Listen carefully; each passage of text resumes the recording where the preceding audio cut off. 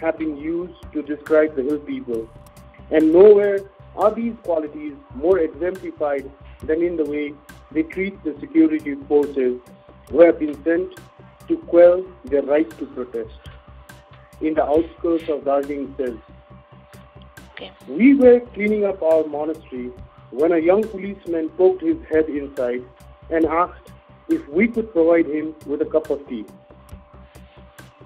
He was young. We felt like he was one of our own sons, most of whom are serving in the army. One of us said yes, we would. He brought with him three other friends, all policemen. We served them all tea. They were thankful and left. Later, they came back to ask if we could make them lunch. We said okay. When they came for lunch, they brought with them 10 others.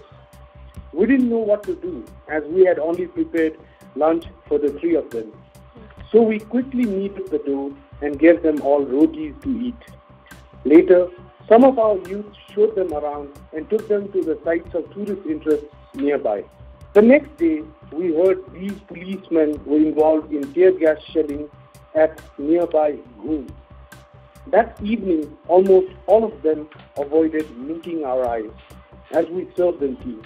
Perhaps they were embarrassed at what they had been made to do. Yesterday, as, this, as these policemen evacuated our village, their officer came to our monastery, offered his prayers, and left without saying a word.